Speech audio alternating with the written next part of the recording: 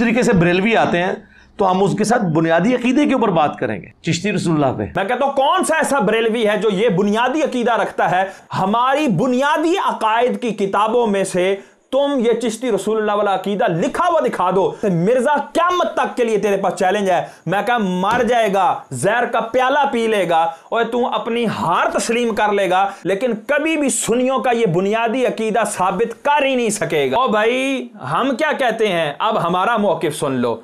हमारा मौकफ अहले सुन्नत का यह है कि चिश्ती रसूलुल्लाह वाला वाकया जो भी ख़त्म नबूवत पर यकीन रखता है, उसके नज़दीक ये कलमा कलमा कुफर है। जो भी ये पढ़ेगा, जो भी ये पढ़वाएगा, वो शख्स दायरा इस्लाम से खारिज हो जाएगा और सामने पढ़ने वाला भी दायरा इस्लाम से खारिज हो जाएगा और उसके सारे के सारे अमाल अकारत हो जाएँगे। इसके अंदर मैंने कोई शिबा नहीं छोड़ा, हज़रत। ये बिल्कुल वाजे, ये दो टोक मौकफ है अहले सुन्नत का। इसके अंदर किसी किस्म का भी शायबा नहीं है। हम आपको साबित करते हैं।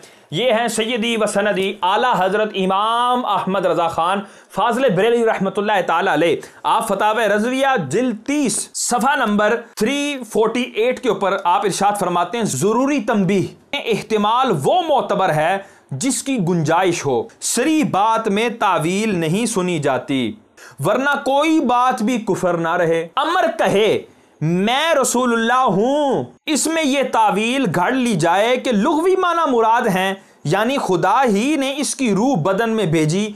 ऐसी तावीलें जनहार मसमू नहीं।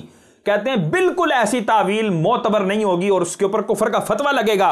फताव खुलासा, फसूल इमादिया जामुल फसूलैन, फताव हिंदिया वगैरह के जुजिए की तायद इस पर ली। आप फरमाते हैं, वहाँ पर लिखा हुआ है वह लफ्जुल इमादी। इमादी के लफ्ज हैं ये।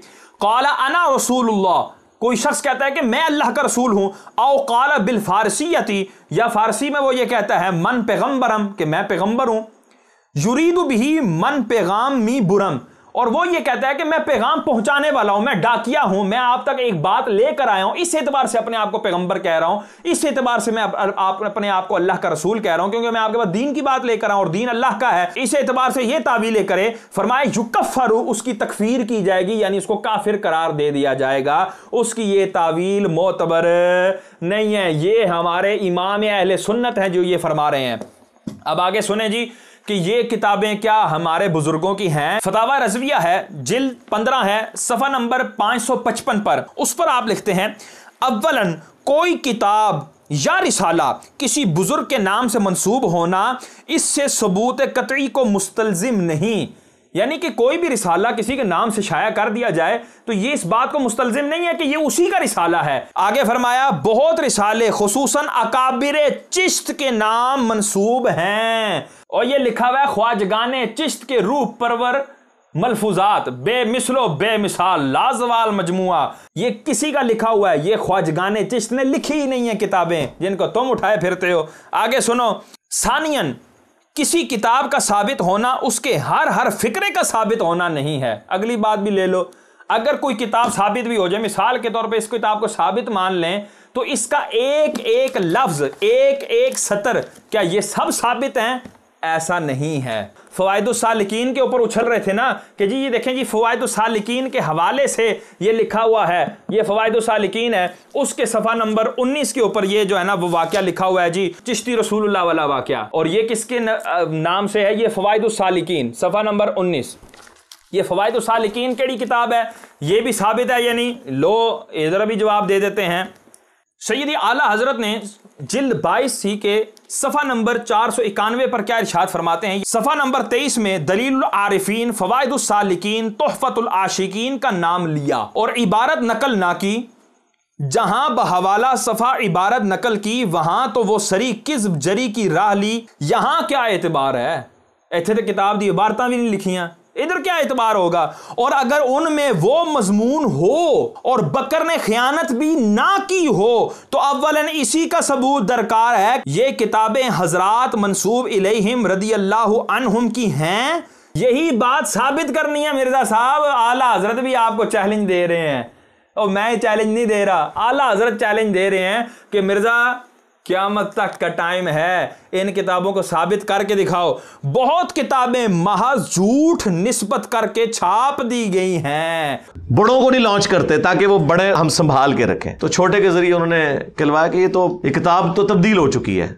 यानी जो मैंने इनको भागने का एक ऑप्शन दिया था ना कि कह दो कि बुज़ुर्गों ने नहीं लिखा बाद में किसी ने डाल दिया उन्होंने इसको। ये भी मेरे मशवरे पे ही उन्होंने कबूल किया ये भी मेरे मशवरे पे ही उन्होंने कबूल किया। ये भी मेरे मशवरे पे ही उन्होंने कबूल किया। इसका क्रेडिट भी मुझे ही जाता है। अखबारुल अखयार शाह अब्दुल हक मुहद्दिस देहलवी रहमतुल्लाह ताले 400 साल पुराने बुज़ुर्ग हैं।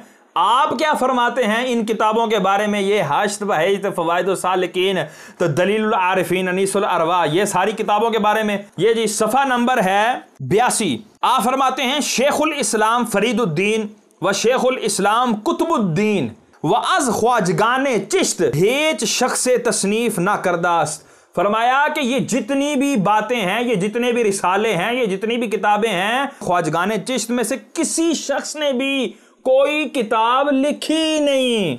ल मिर्ज़ा साहब मोजा मारो, हैं? लेकर फरमाया ना आला हज़रत ने कि नाकिल पर मरदूद है। मरदूद मरदूद बातों को उठाओ और निकलो। अब आप देखें, ये किसकी तहकीक ली है? शार बुखारी, शरीफुल हक अमजदी रहमा। क्या हज़रत ख्वाजा गरीब नवाज़ रहमत ताला ने किसी मुरीद से कहा, ला चिश्ती रसूलुल्लाह कहो? स्क्रीन पर आपको नज़र आ रहा है, पूरी बड़ी बड़ी हेडिंग दी हुई है। और आप साथ ही देखें कि ये कब का तेईस सफ़र 1415 सन हिजरी का ये इस, इस्तिफ्ता है और आपने इसका जवाब दिया है। मतलब ये हुआ कि ये 28 साल पहले का फतवा है। जिस वक्त मिर्ज़ा साहब जो है ना, वो 14 साल के थे, अभी छोकरे भी नहीं हुए थे। तो आपने उस वक्त कैसे निकाल दिया कि शरीफुल अकम जदी रहमा भी पहले आपने जो है वो बता दिया कि ये चिश्ती रसूलुल्लाह, ये गलत वाक़ है, इसको निकाला जाए, ए गलत है। ये आपने पहले बता दिया था। तो यहाँ पर देखें, हश्त बहिश्त मजमुआ मलफुजात, ख्वाजगान चिश्त एल बहिश्त, मकतब जाम, नूर नई, देहली किताब फ़वाद सालकिन, सफ़ा नंबर तेईस, चौबीस में मलफुजात, हज़रत कुतुबुल अख्ताब, ख्वाजा कुतुबुद्दीन बुख्तियार काकी अल रहमत ताली को नकल करते हुए एक वाक़ यूँ इरशाद फरमाया, वो फिर सारा वाक़ चिश्ती रसूल वाला वाक़ साइल उस वक्त अट्ठाईस साल पहले हज़रत 28 साल पहले ये सवाल हो रहा है। अब देखो जवाब। शरीफुल हकम जदी रहमा जवाब दे रहे हैं। आप फरमाते हैं, पहली बात ये कि हश्त बहिश्त और फ़वाद सालिकीन, हज़रत ख्वाजा कुतुबुद्दीन काकी कुद्दसरूह की हैं या नहीं? बाज़ार में किसी के नाम से कोई किताब छप जाना इसकी दलील नहीं कि जिसके नाम से किताब छपी है, ये उसी की तसनीफ है। किसी की किताब उस वक्त मानी जाएगी जब मुसन्फ के अहद से लेकर शाये होने तक मोतमद और मुस्तंद लोगों के यहाँ महफूज हो और इन दोनों किताबों के बारे में ऐसा कोई सबूत नहीं। खुदा ना तरसों ने बड़े बड़े आयम दीन के नाम से फर्जी किताबें शाया कर दी। एक, दो नहीं, इसकी सद हाँ नज़ीरें मौजूद हैं। फिर फरमाते हैं, फिर असल किताब अगर मुसनफ़ की होगी तो इलाहाक से महफूज है, इसका फैसला बहुत मुश्किल है। तो